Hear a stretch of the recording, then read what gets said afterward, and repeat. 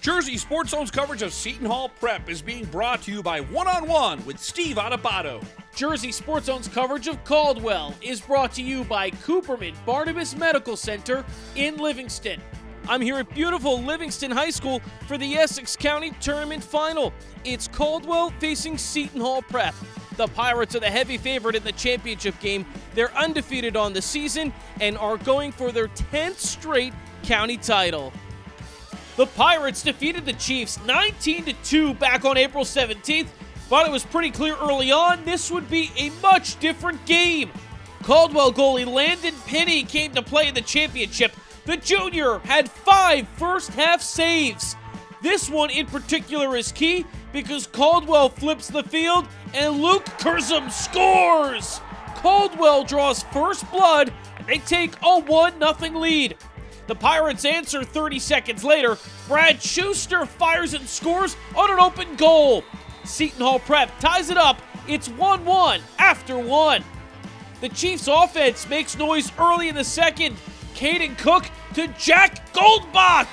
Caldwell retakes the lead. We've got a 2 1 game. This cannot be overstated.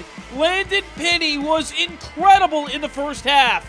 Pini made 10 saves in the first 24 minutes of this game. Because of his hot play, it's a tie game at the half. Caldwell and Seton Hall Prep are knotted up at two.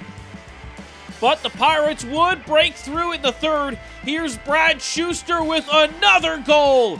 He's got all three so far for the Pirates, who go into the fourth up 3 2. Caldwell was facing one of the absolute best defenses in the state, but they kept fighting. The ball gets over to Harry Boland, and we've got a tie game again. Boland fires the equalizer with 6.35 left in the game. That makes it 3 3. The next possession is for the Pirates, and it's a fruitful one. The prep working over to Tyler Juhlin, and the junior delivers one of the biggest goals of the season. Juhlin breaks the tie. Four and a half minutes remain in regulation. Seton Hall Prep leads 4 3. Caldwell would get a chance with under a minute to play, but we've got a loose ball, and both teams jostle for possession. Andrew Daly gets possession briefly, and Seton Hall Prep is awarded a timeout. Caldwell cannot believe it, but the Pirates will take over possession and they wind down the clock for the win. 4 3 is the final in a great game. Seton Hall Prep had to battle for 48 minutes to capture the program's 10th straight Essex County Championship.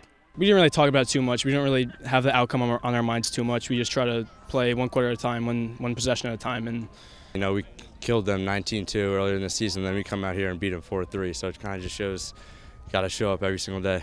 Reporting from Livingston, I'm Jay Cook, JerseySportsZone.com.